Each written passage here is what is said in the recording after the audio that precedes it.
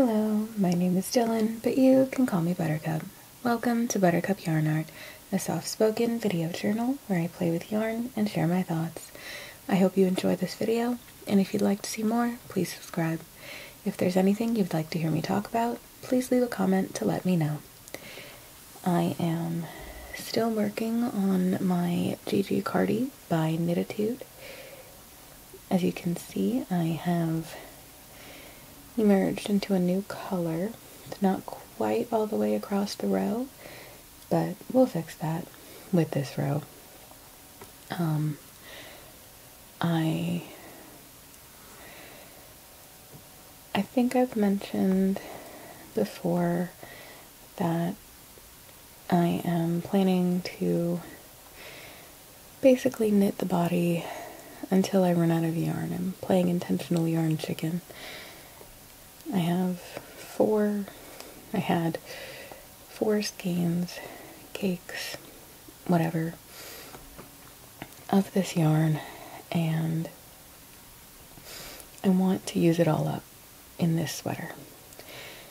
So it's going to be a bit longer than the pattern recommends, but oh well, I like long sweaters, specifically cardigans. It'll be fine.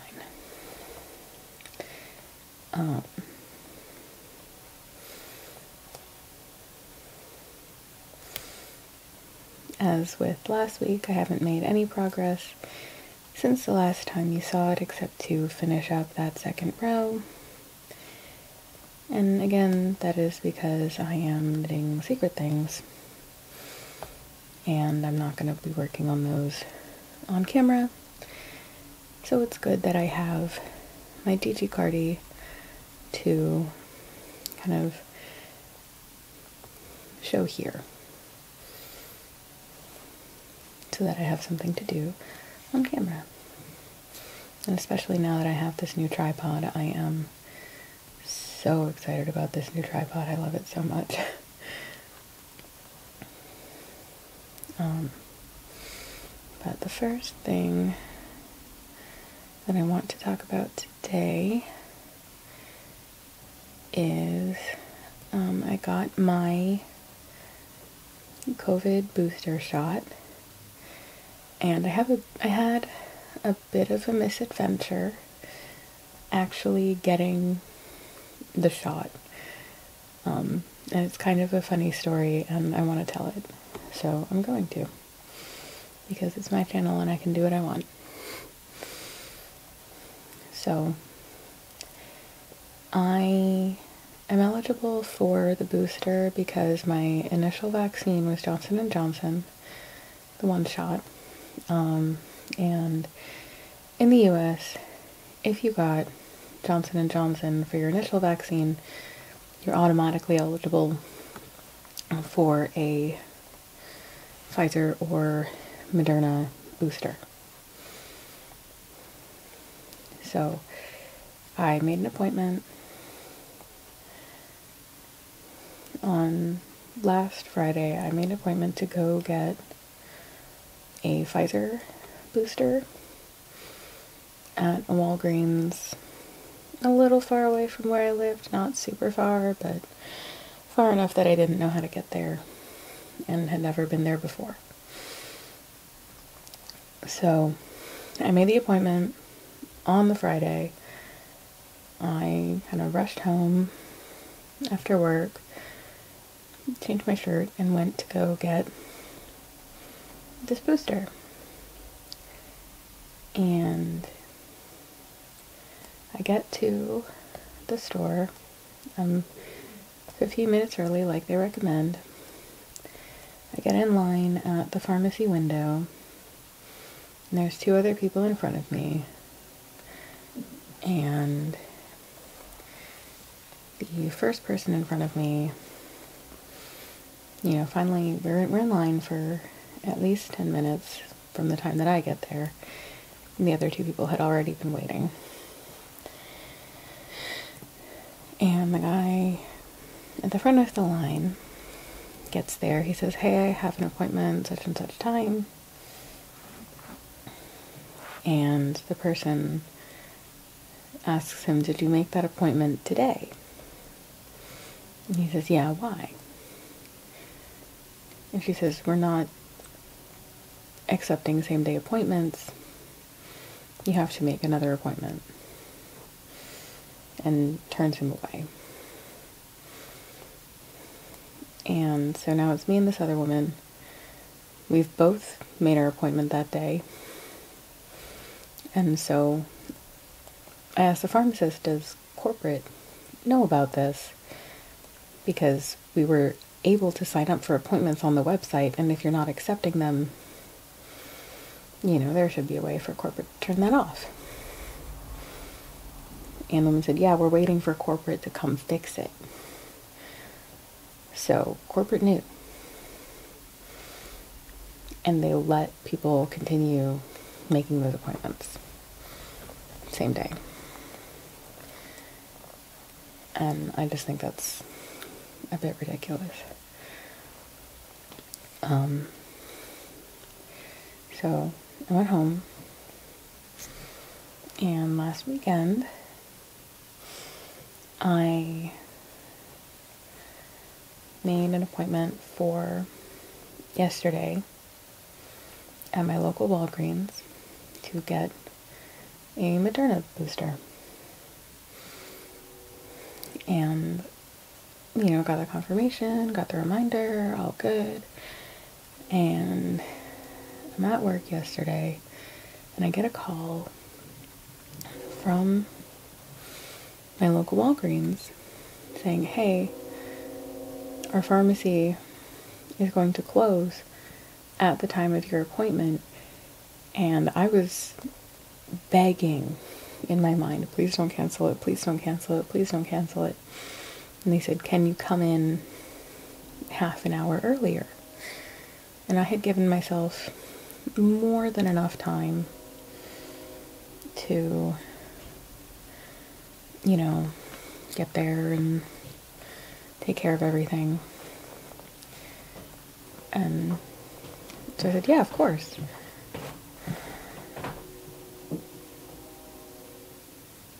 And so I go, I'm even earlier than the 15 minutes that they want me to be early.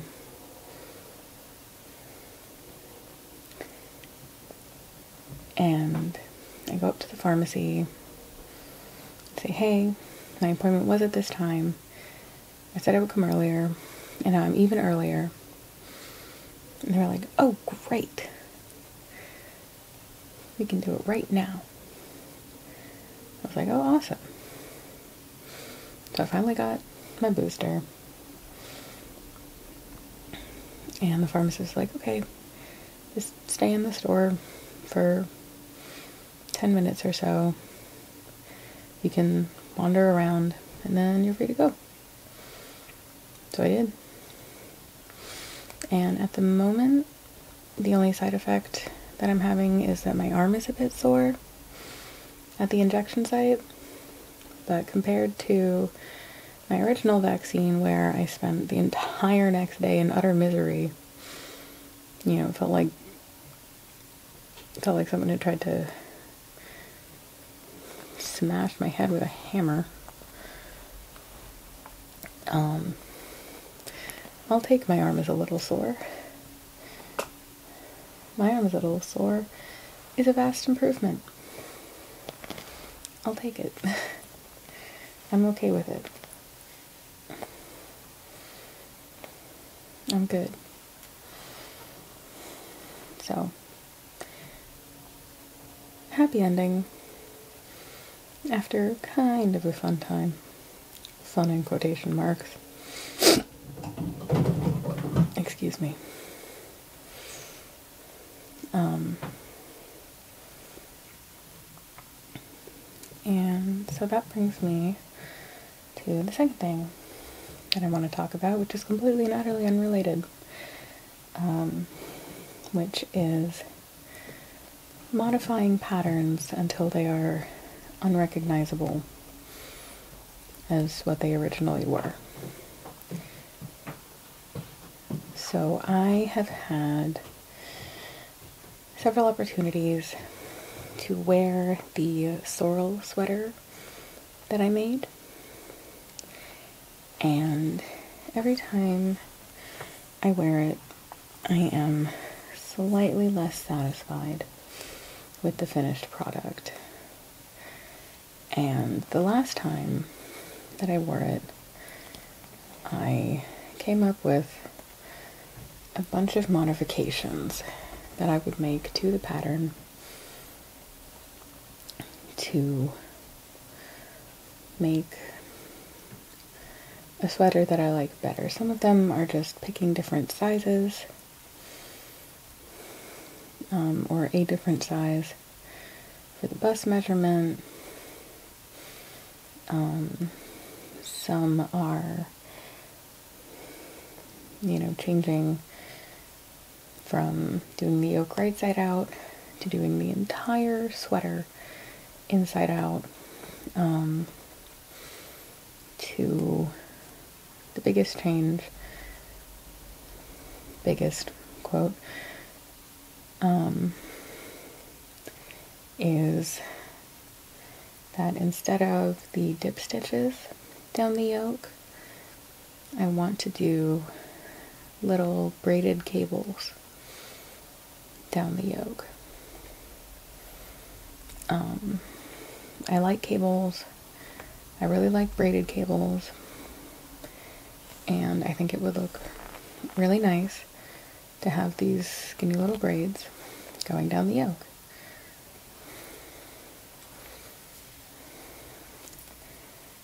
So I'm gonna I'm gonna do it. I'm sorry for that noise. I have no idea what it was.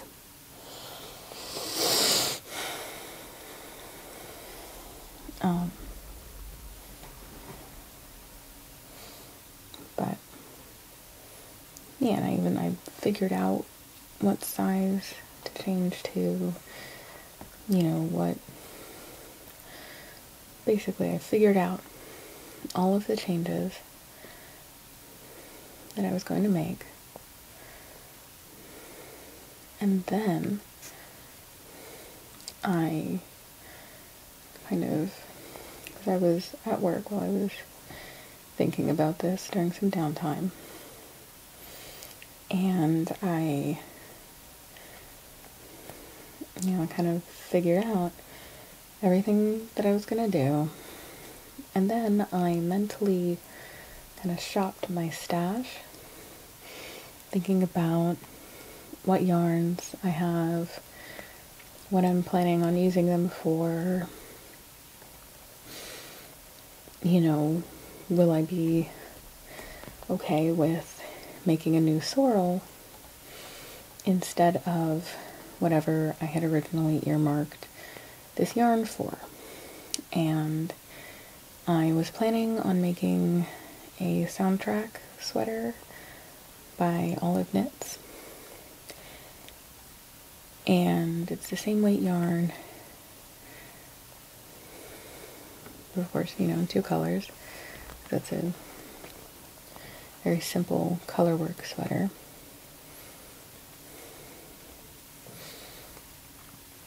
And I'm going to take that yarn and basically do the same thing that I did for my original sorrel, which was I cannibalized some yarn from a colorwork project that was purple and gray, and I color blocked it. I made most of the yoke from the contrast color, the purple, and everything else in the gray once I ran out of the purple. And my soundtrack was going to be gray and purple, with the gray being the main color and the purple being the contrast color. And I'm going to, once again, color block it. Use the purple for the yoke and until it runs out, and the gray for everything else. And I think that's kind of funny I was trying to find some non-color work projects in that same weight that I could use, but